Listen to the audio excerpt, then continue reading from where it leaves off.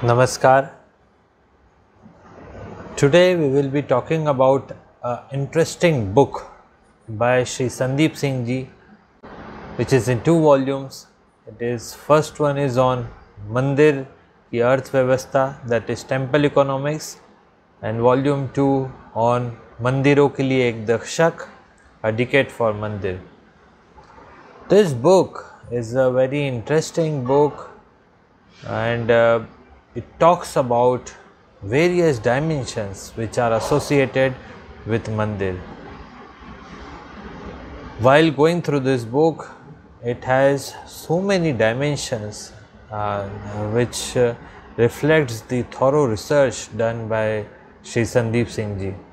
So, in this video I will be talking about few components uh, which are from this book itself. It's a sort of a review of this book and as well as some unique dimensions which are associated with this book.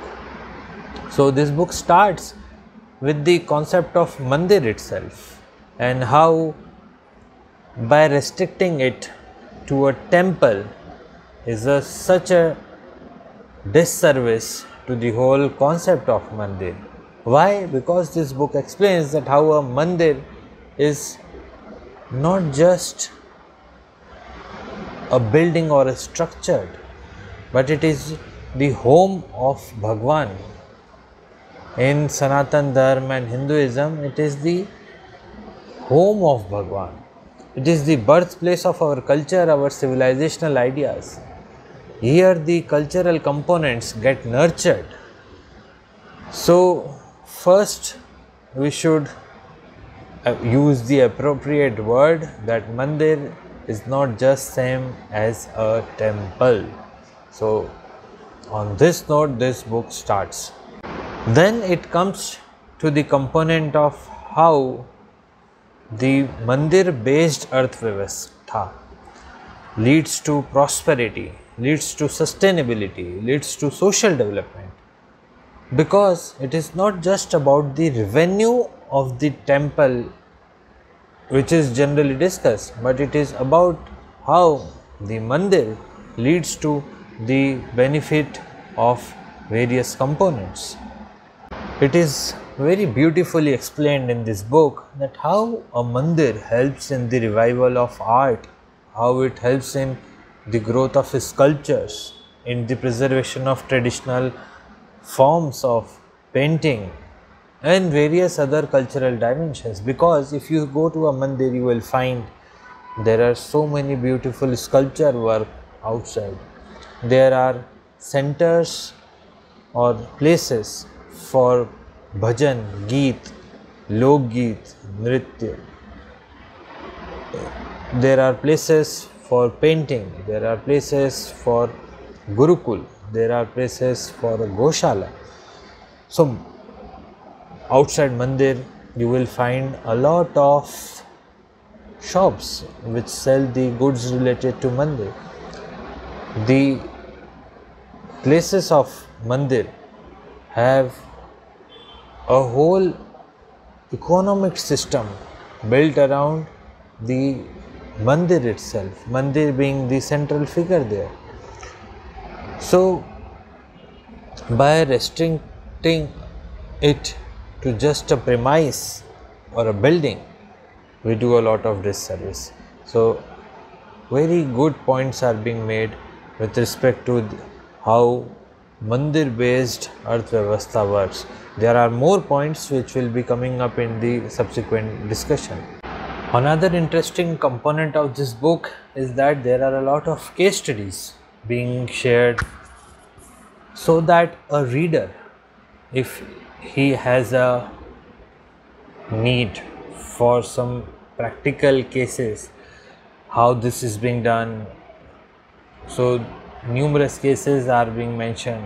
For example palani mandir which restored a very important instrument called as nadswaram how kumbh mela leads to the revival of the spiritual traditions, leads to the revival of cultural traditions, leads to the economic development not only of the place where it is being held but for the whole state and as well as the whole nation. The case studies which are given in this book helps us understand that whatever points are being mentioned they are being substantiated with the right logic, reason as well as example and a illustration which is not just a common illustration but a very prominent illustration of what the book talks about.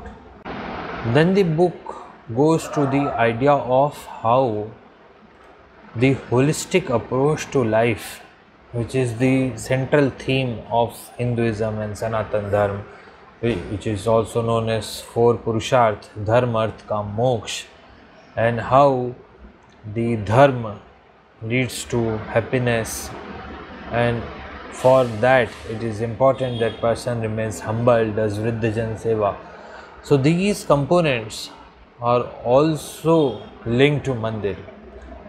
For example, the arth component we discussed in slides before this, the author explains how the cultural artifacts are also connected to mandir. For example, we know that many saris which are available across India, most of them are from places which are known for mandirs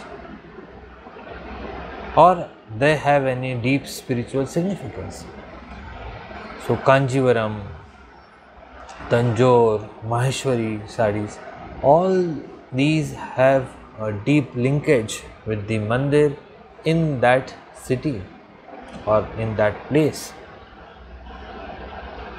So the idea of having mandir as a place for revival of whole activity of a holistic life will be very beneficial and this has been in practice for long so if you see all the gurukuls the knowledge centers the places for goshala they all used to revolve around mandir.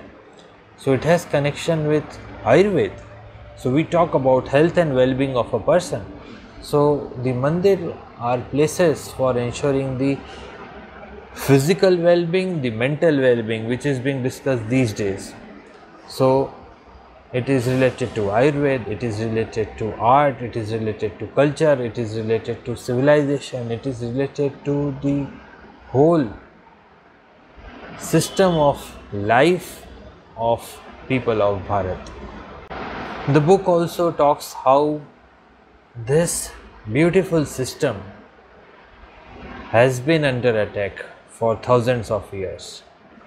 Whether the invaders, the Islamic invasion happened, the British Christian invasion, the Portuguese Christian invasion, and subsequently, even after 1947, there have been systematic efforts which have been leading to the decline of this mandir based Arthvyavastha or the mandir based system of living.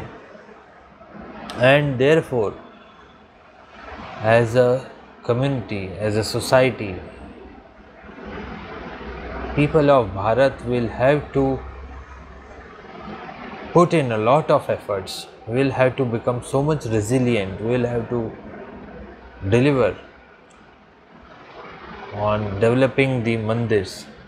And for this there are numerous examples how, how in past this was done and this was done with a lot of rigor and vigor and the results were outstanding. For example, Ahilya Bai Holkar, she built more than 100 mandirs across Bharat.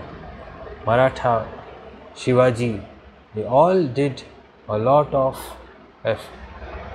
things so that we could rebuild mandir and the invaders they also understood that if we keep on destroying their mandirs they will rebuild it and their economy would sustain So British learned from the Islamic invasions and they tried to gain control over the affairs of Mandir and unfortunately that system continued after 1947. So the book talks about various intricacies of how the Mandir uh, have been under attack from different systems and in different ways. We have academicians who are propounding theories and leading to the confusions among masses about mandirs. They are teaching wrong theories and concepts. We are seeing that many NGOs are utilizing the loopholes in the legal systems. They are trying to use the legal system against the idea of Sanatan Dharma, Mandir and Hinduism.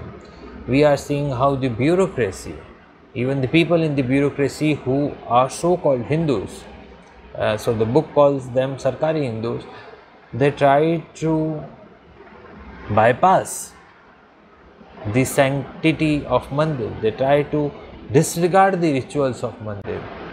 The book also talks how the brown sipais, the people who who work at the behest of the western powers or the foreign powers to bring harm to the Mandir system. The book also talks about the internal situations, the internal forces which lead to the destruction of the mandir based uh, arth vyavastha. And most importantly, the Hindus themselves, a lot of Hindus, a lot of people in Sanatan Dharma, they themselves don't have a deep regard for the rituals and practices of mandir.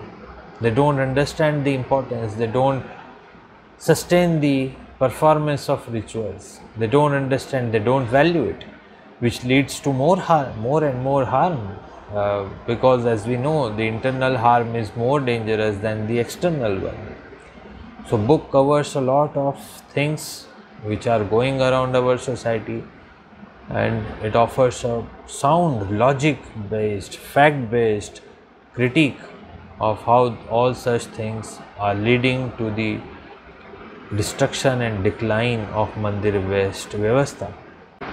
The book also has a point, valid point in terms of how various modern temples which are being made and they are devoid of the rituals and practices, traditional practices. For example, somewhere you are not allowed to carry the flowers, somewhere uh, you are not allowed to carry the prasad, somewhere people are not allowed to sit, meditate, etc. So, they may be looking as mandirs, they may be presenting themselves as mandirs, but the feeling that bhav to the person who enters there is not found. And many people have experienced this that they don't feel such vibrations while going to many mandirs which are so called modern mandirs. So, we need to relook at that and this signifies the importance of upholding the traditional practices without which our mandirs won't be mandirs in the real sense. Another component which is very crucial to be addressed because it has linkages with the people who are from Hinduism and Sanatan Dharma. A lot of people who are Hindus themselves but have been misguided to certain unknown realms of idealism. They do a lot of harm to Mandir because, in the name of reforms, a lot of people fall into the trap and they have a futile debates on say like matters like okay whether there should be a mandir or a hospital. So talking about mandir and hospital cannot be dichotomous because mandir a lot of mandir in our country they run free medical facilities of they offer free education they offer free residential facilities. They offer food. They offer living. So why do you, you want to think that the mandir and hospital are dichotomous? Why to enter into this futile debate? I shared few slides ago that the mandir they sustain the ayurveda. So a place for physical and mental well-being is a mandir. So why need we why should we enter into a debate of mandir and hospital? Which only creates confusions which only creates trouble in the society and is of no use. Similarly the cultural identities that we have with us for example foreigner branded us as sone ki chidiya but the book argues in a very strong point that we have the birds like Jatayu, Sampati, Garud who protect Dharma with their ferocious powers. And Sone ki chidiya can be easily trapped and that happened with us. Similarly, liking us to an elephant while our cultural and civilizational history tells us we have been roaring like a lion to protect the dharma, to protect the people. Our leaders from time to time have roared like a lion in the interest of not only Bharat but in the interest of world, in the interest of world well-being. So we should be very careful while choosing our cultural artifacts and this idea of connects with the cultural digestion by Rajiv Malhotra of how our own symbols, rituals and practices have been taken by West and repackaged, rebranded in different ways and we just become a recipient of it. And we stop thinking beyond that false narrative. A prominent example is of Bhagwan Krishna. Now we know that in Bhagavad Gita, Bhagwan Krishna's Swarup showed Vishwarup Darshan, which is multi-dimensional, which is beyond dimensions rather. We saw Bhagwan shifting to Dwarka in form of Ranchod. We saw him killing Kans at a very early age. While the image of Bhagwan Krishna that is being projected is just with in the relation to Rasli. So Bhagwan Krishna is Purna avatar, Sola Ansh, Sola Ansh avatar, but we reduced him. And we fall into the trap and the narrative is gone. So the mandir can help us in understanding the right perspective, right cultural, right dimensions of our own civilization, and so that we don't fall prey to such things. And Mandir can play a role in this revival. So, the strategies for reclaiming the mandirs, for the revival of mandirs, have been discussed in book in a very detailed and thorough manner, which covers various dimensions, right from regaining the respect for pujari in the mandir. So, whether it's the appointment of pujari, the traditional practices, their sanctity, their procedures need to be restored because that person will be in the in charge of all such practices. We need to reclaim the right towards the Murti Puja. We need to reclaim our right to many mandirs which are in the not in the control of people themselves. The community should own them. So legal structures are required, legal systems are required to protect. We need to have an Arthvyavastha which is built around mandir. So that is needed. And logic and argument can be given based on the things which are already going on. Like many mandirs, they have a prasad centers, they have gold uh, being sold there, there are so many Ganga Jal Vitran, Yatra that happens. So, revival of Yatras, uh, for example, Kawad Yatra. So, all, all these dimensions are connected to the revival of Mandir system and it would lead to the Mandir rate of growth, uh, which would be far more better than the current economic growth. So, this revival would require people to make small efforts also. For example just like going to mandir at regular intervals doing uh, going there for the spiritual significance as well as cultural significance. Doing some cleaning work there contributing to any gurukul there contributing to goshala contributing to art forms. So this way by living that culture we will be able to preserve. And because it is not a museum because bharati Sanskriti is not cannot be preserved in museum it has to be lived. And this way we can start putting in steps for the revival. The practices the rituals so once those are reperformed or performed with proper understanding and most importantly valued then only the next generation will be able to find the significance because one generation if value something in high probability second would do that. And always with some decrease in the percentage. So if we want it to happen at 100% that this generation would have to give it to a 200% so these rituals are not to be discarded are to be practiced performed valued understood. And their significance at macro level needs to be seen.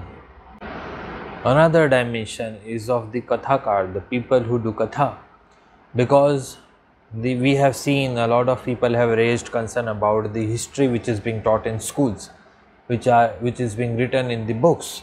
So that history is not always kind towards Bharati culture and Sanatan Dharma. We have seen the ample examples. So now from where the people will learn the right history? It is to the Kathakars.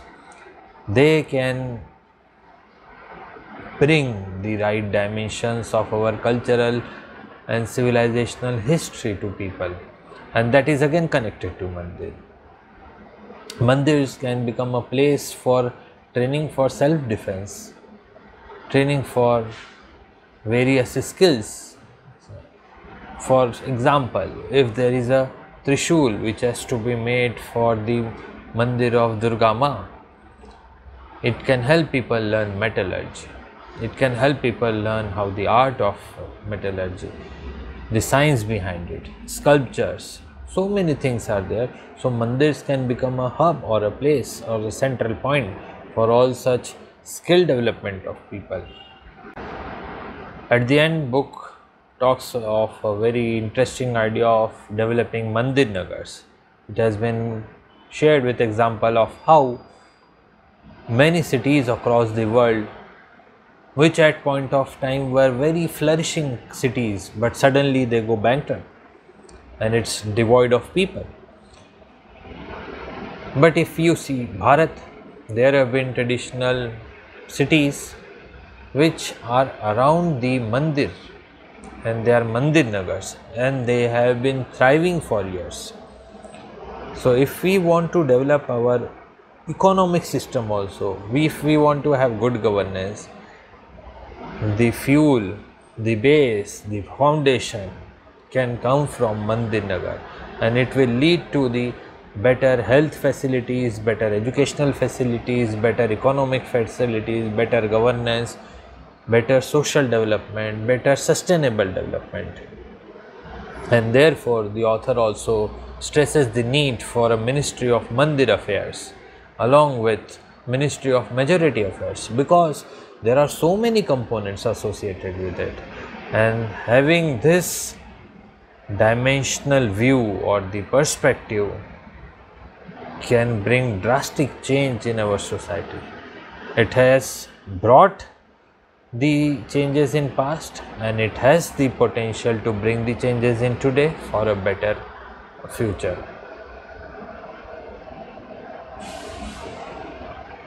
In the coming slides there are few pics of uh, this book being shared with various dignitaries. You may have a look. So uh, this book has uh, getting good acclaim- acclaimed from various dignitaries Shri Nitin Gadkari ji director of IIM Nagpur receiving the book at Banasthali, we had a very nice interaction with Professor Harsh Purohit and Sri Sandeep Singh Ji on the book, and audience appreciated it a lot. The book was launched. It was a great time.